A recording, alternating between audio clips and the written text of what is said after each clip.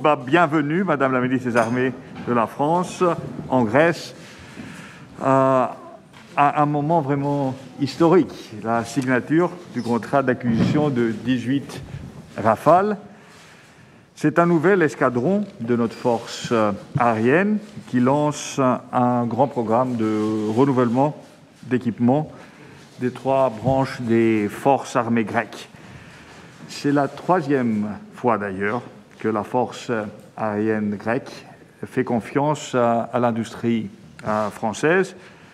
Le Mirage F1 l'a précédé il y a presque un, demi-siècle et les Mirage 2000 il y a 30 ans et la version 2005 il y a 15 ans. Les prédécesseurs du Rafale ont déjà euh, euh, montré leur valeur dans le ciel de la mer Égée.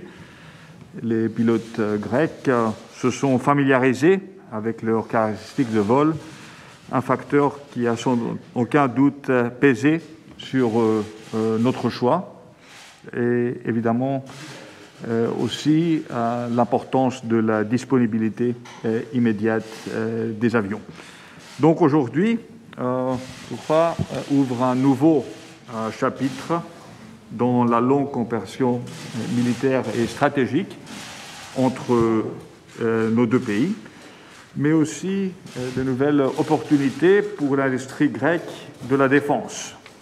Et ce marché reflète euh, la doctrine de notre stratégie nationale, selon laquelle notre défense est un pilier jumeau de notre politique étrangère. Euh, après tout, le bouclier de la Grèce n'est jamais devenu une menace pour un autre État. Au contraire, il a toujours été un facteur de sécurité dans la région.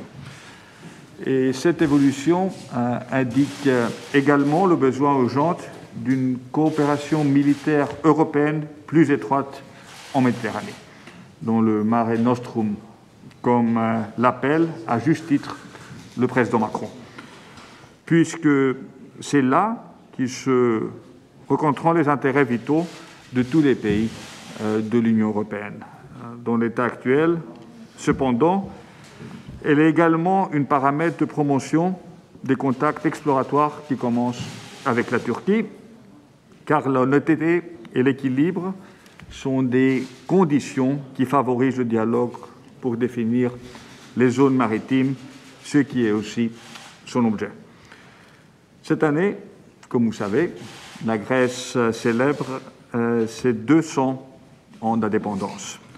Et le soutien de la France était grand à cette époque aussi, pas seulement à travers les messages de sa révolution, qui a également inspiré la révolution grecque, mais aussi avec des actes.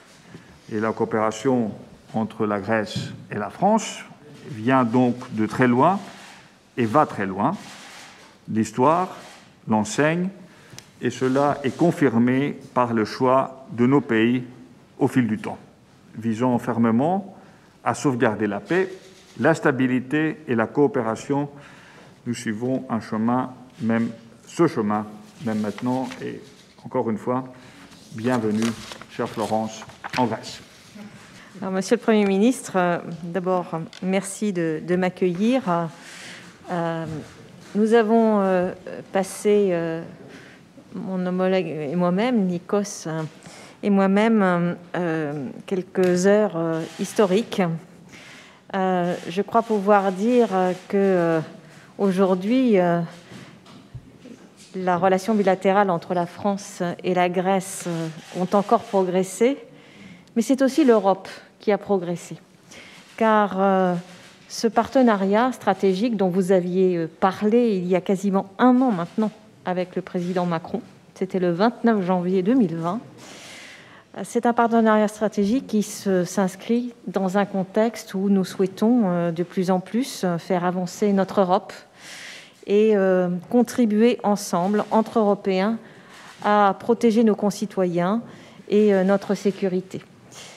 Donc, je voudrais remercier très chaleureusement les équipes grecques qui ont permis la signature, d'abord la négociation, puis la signature dans un délai record d'un contrat important un contrat qui va permettre de renforcer encore la coopération opérationnelle entre nos armées. Et euh, l'année 2020 a été une année riche en euh, exercices, et cela malgré euh, le virus. Et nous avons un programme, Monsieur le Premier ministre, extrêmement chargé dans les prochains, jours et prochaines semaines, puisque nos deux armées de l'air vont euh, mener des exercices conjoints dans quelques jours, que euh, nous avons également le projet euh, d'avoir un nouvel exercice au mois d'avril, et puis le porte-avions Charles de Gaulle devant naviguer en Méditerranée, eh bien, j'ai cru comprendre que la Grèce nous accompagnerait avec une frégate pendant cette, cette opération. Donc vous le voyez, euh, à la fois nous travaillons pour le court terme, mais aussi pour le long terme, pour la relation bilatérale et en même temps pour euh, notre Europe.